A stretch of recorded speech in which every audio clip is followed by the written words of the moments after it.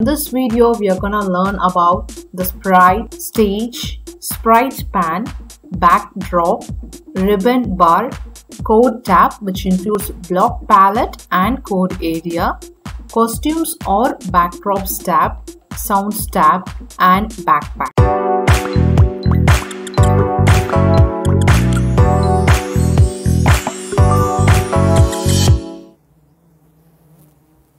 Hello everyone, this is Suriya Ramesh. Today we are going to learn Scratch user interface.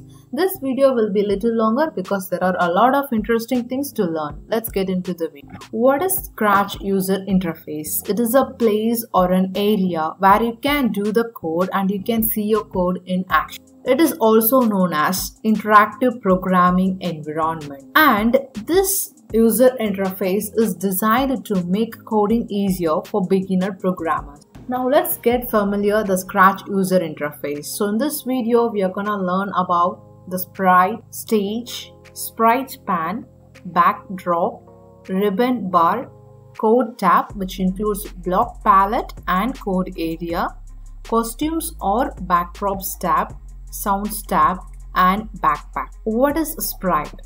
Sprite is a graphical character or object. The default sprite of a Scratch user interface is the Scratch cat which means that when you open a new project, it will provide you the Scratch cat as the default sprite without any script. Then there are four ways to add a sprite to your project. There will be a board.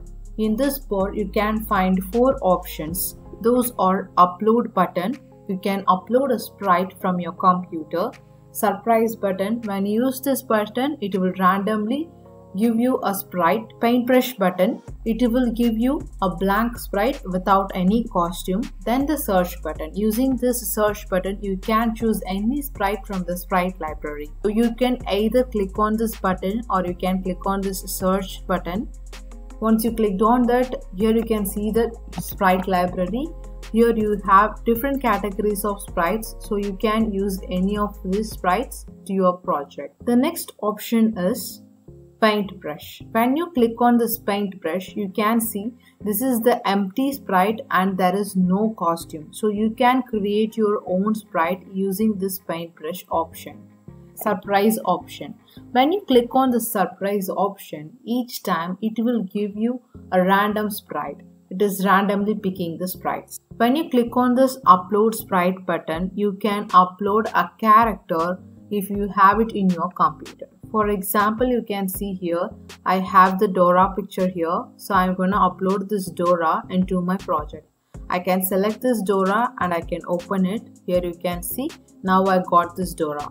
Then what is stage? Stage is a place where you can see your project in action. What are the functions in stage area? This is the stage area. At the top left corner, it has a green flag. The green flag is to run the scripts, then the red button. This stop button will stop all the running scripts. You can see the state in three different sizes. There are three options here. The middle option is the default one, which is regular. Regular means normal mode. Normally its size will be 480 pixels wide and 360 pixels tall. And the next one, the first option here is small screen layout. So the small screen layout is all the size of the normal mode which means it is 240 pixels wide and 180 pixels tall. Whenever you want to increase the space in code area, you can use this small screen layout. I'll show you how to do that. And the next option is full screen mode, the last one. So it will make the stage bigger that will fit to the screen. Now let's learn how we can use this option. This is the stage. You can see here we have the green flag and red button this is the small screen layout and this is the regular screen layout and this is full screen. Sprite pane. It has two important parts. The first one is current sprite info window. So you can easily access the information of this current sprite. Now the current sprite is cat and the second part is sprite list. This sprite list will have all the sprites that you have added into your project so by clicking on each thumbnail, you can easily access the sprite information and you have the option at the top right corner to delete a sprite. So below the stage, this is the sprite pane. Here for this cat, it has the name sprite1 and its position is x0, y0 which means center of the stage and it is show, enabled show and you can have, you can use the hide option as well and this is the size. You can decrease and increase the size and this is the direction. You can change the direction of a sprite. For example if i add one more sprite to the project for example i'll add this person. You can see the person is here. Now the information is about this current sprite. The current sprite is Avery Walking so it has all the information related to this current sprite and this option is to select a sprite. Backdrop is an image to change the look of the stage. So there are again four ways to add a backdrop which is similar to sprite. Like you have the upload button and you have surprise button paintbrush button and search button. So you can see here again we have four options. Using this first search button you have different categories of backdrop. You can use any of them. And second one is paintbrush it is the blank one so here you can create your own backdrop it can be anything. So this is the blank one. And the next one is here you have surprise. So it will randomly choose a backdrop for you. And then the last option is upload. So you can see I have downloaded a backdrop from internet. I can make use of this backdrop to my project here. Small. What you can do is you can click on convert to vector then you can increase the size of this backdrop you can you have to choose the select tool and choose this background image and make it bigger that's it so these are the four ways that you can add the backdrop into your project. Next thing is ribbon bar. What is ribbon bar? This is the first section of the Scratch user interface, which is the blue bar at the top. This is that blue bar. So what are the things are there in this ribbon bar? The first one is the Scratch logo, then the globe symbol, which is the language menu, then the file menu and edit menu then tutorials option then project name. In online editor you will have few more options. So this is the ribbon bar at the top. The first one is scratch logo. This is language menu. Here you can find all the available languages. You can use any of this. But whenever you are opening a new project the default language will be english then you have the file options. Here you can create a new project using this new option. Then you have option to load from your computer which means if you have done any project in scratch and you have saved it to your computer means you can open it again. This is the option to save to your computer. You can add any block here and you can simply save it using this save to your computer option. And the next option is edit which is restore and turn on turbo mode what is restore why doesn't enable it because this restore option will help you to restore the last deleted item. For example, I have a code block for this cat move.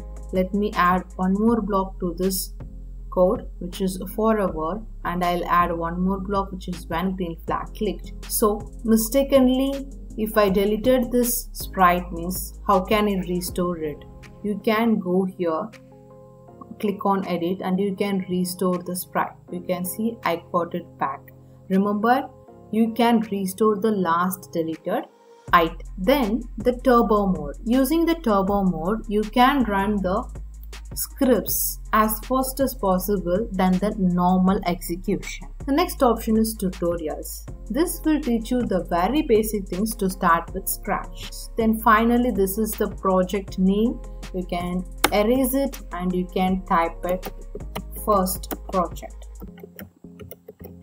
That's it. This is then code tab. To write and run the scripts, we will use this code tab this is the code tab. It has two important parts. The first one is block palette. Block palette means it will have the different color coded code blocks inside it. We have different kind of block categories here from motion to my blocks.